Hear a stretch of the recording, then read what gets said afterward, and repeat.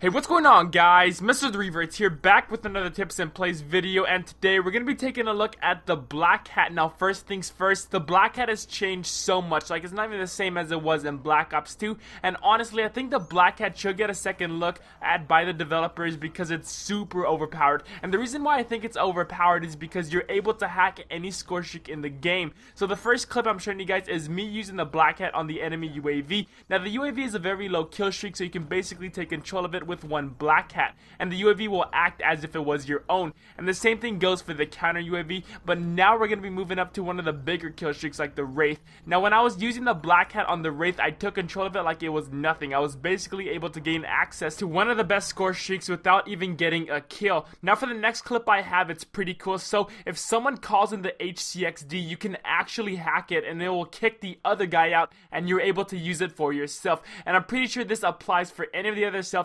kill streaks in the game like the Talon or the Dart, and it's all because of the Black Hat. Now, for the even higher score streaks, I was sadly not able to record any footage because I literally kept dying every single time, but I do have something to show you guys. I'm not going to leave you out empty-handed, so take a look at this clip right here. Now, I do gotta say, this is where it starts really to get out of hand. So, I saw someone calling in the R.A.P.S. kill streak. Now, you are able to hack the spike balls on the ground, but I have a way more safer tactic to use. So, when someone is calling in the R.A.P.S., you can actually hack the drop helicopter. And if you do this fast enough, you can actually use some of the R.A.P.S. that will be uh, dropping down that the other team called in. And they will actually become yours. And then the other R.A.P.S. ship will fly to your location and drop your own set of R.A.P.S. kill streak. And you don't even have to get a kill. As you can see in the clip here, it's so crazy. So this kill streak that's worth 1270 points is basically yours for nothing. And this is why I give the OP title to the Black Hat. And like I said, every streak will take one to two Black Hats. Does say that in the description, which is basically nothing, and especially if you have two of them equipped to your class, and the engineer perk makes it way easier to search out streaks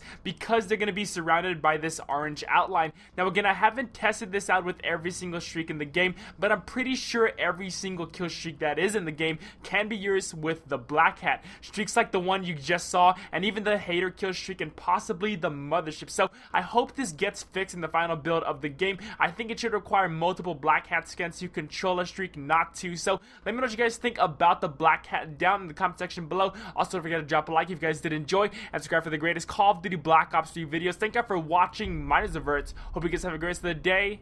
Until next time, I'll catch y'all later.